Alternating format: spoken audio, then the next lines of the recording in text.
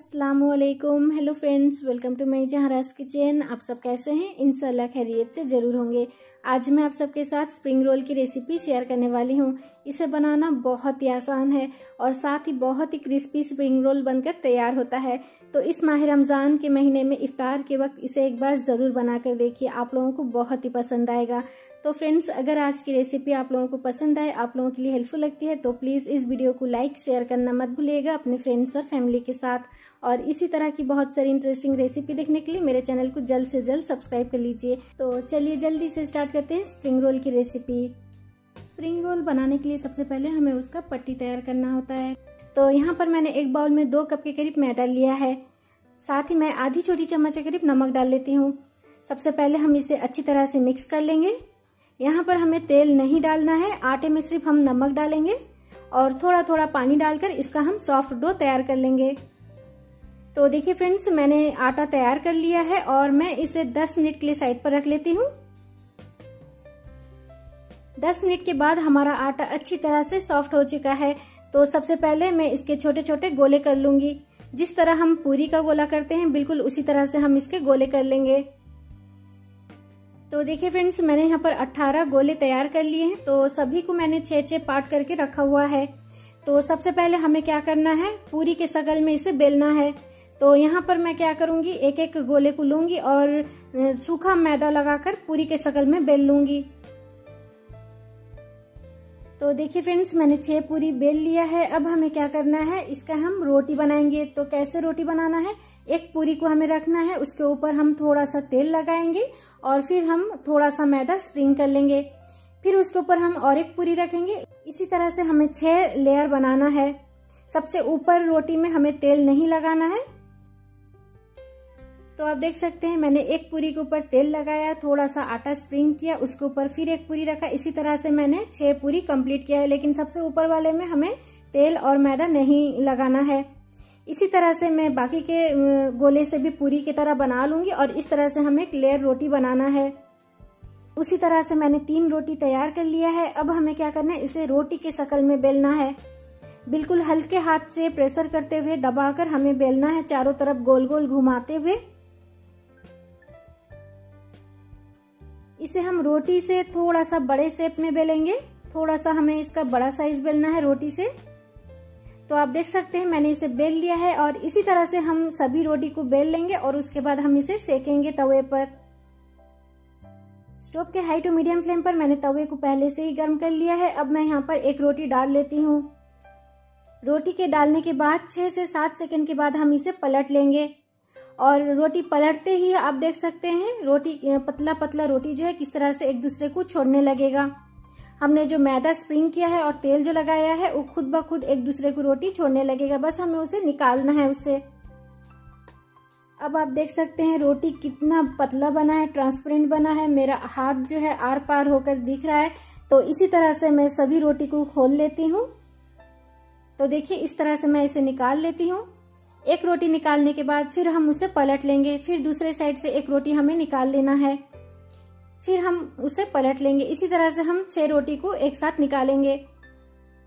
मैंने इस स्टेप को ना ही फॉरवर्ड किया है और ना ही कट किया है। आप देख ही सकते हैं, मैं एक रोटी को निकालती हूँ, फिर रोटी को पलट लेती हूँ। उसी तरह से मैं सभी रोटी को खोल लूँगी और हमने जो आटा और तेल लगाया है, बहुत ही आसानी से खुल जाता है। थोड़ा सा गर्म रहता है यहाँ पर अगर आप इस तरह से ना निकाल पाए, एक दो रोटी तो खुद ब खुद निकल जाता है और बाकी का अगर ना निकले तो आप उसे चकले पर रख कर भी निकाल सकते हैं एक दूसरे को। तो इसी तरह से मैं बाकी की रोटी को भी सेक कर रोटी खोल लेती हूँ। मैं यहाँ पर छह पूरी को बेल कर एक रोटी बनाकर इस तरह से खोल रही हूँ सभी रोटियों को। अगर आप चाहें तो दो पूरी को बेल कर भी इस तरह से रोटी बनाकर खोल सकते हैं। अगर आप फ़र्स्ट टाइम बनाना बनाना चाहती हैं तो दो रोटी का ही पहले बनाकर देखिए। उसके बाद अगर आपका हाथ फ्री हो जाएगा तो आप एक साथ छह रोटी का भी बनाकर इस तरह से तैयार कर सकते हैं। तो लीजिए फ्रेंड्स, हमारा स्प्रिंग रोल पट्टी बिल्कुल बनकर तैयार है। इसे बनाना कितना आसान है, आप देख ही चुके हैं।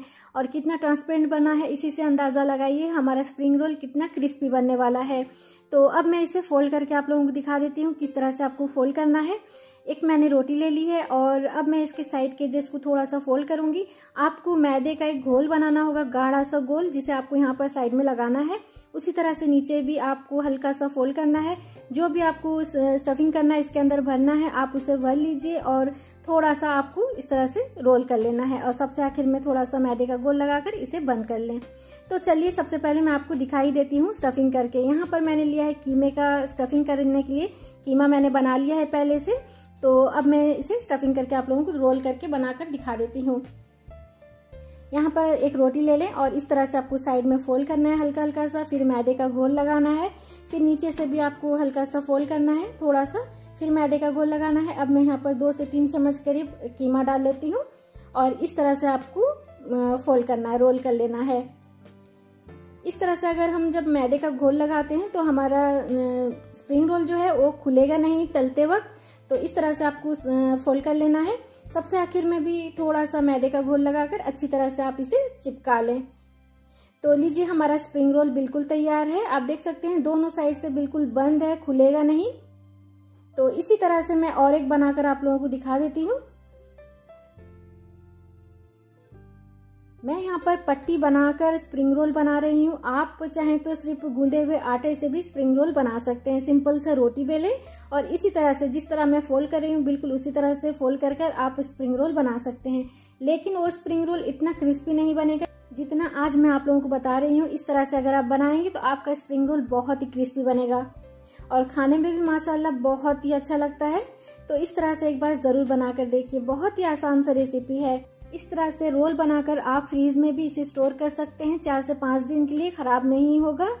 मिनिमम आप इसे चार से पाँच दिन ही रखें। ज़्यादा नहीं रखना है क्योंकि हमने स्टफिंग में प्याज डाला है तो ज़्यादा दिन के लिए भी अच्छा नहीं लगेगा स्टोर होके रहने पर। तो आप हल्का सा कॉटन कपड़ा गीला कर लें और इसे आप उसमें लपेट कर फ्रीज में रख सकते हैं। या फिर आप जिबलॉग बैग जो होता है, उसमें भी आप इसे स्टोर करके रख सकते हैं फ्रीज में। चार से पाँच दिन के लिए रखें। और जब आपका खाने का मन हो, आप इसे डीप फ्राई करके खा सकते हैं। तो देखिए, मैंने सभी स्प्रिंग रोल जो है बनाकर तैयार कर लिया है। अब हम इसे डीप फ्राई करेंगे। तो चलिए, अब हम चलते हैं गैस स्टोव की तरफ़। स्टोव के हाई टू मीडियम फ्लेम पर मैंने तेल पहले ही गर्म कर लिया है। अब मैं यहाँ पर एक एक करते हुए स्प्रिंग रोल डाल लेती हूँ। तेल हमें ज़्यादा यहाँ पर गर्म नहीं करना है। मीडियम फ्लेम पर हमें गर्म कर लेना है।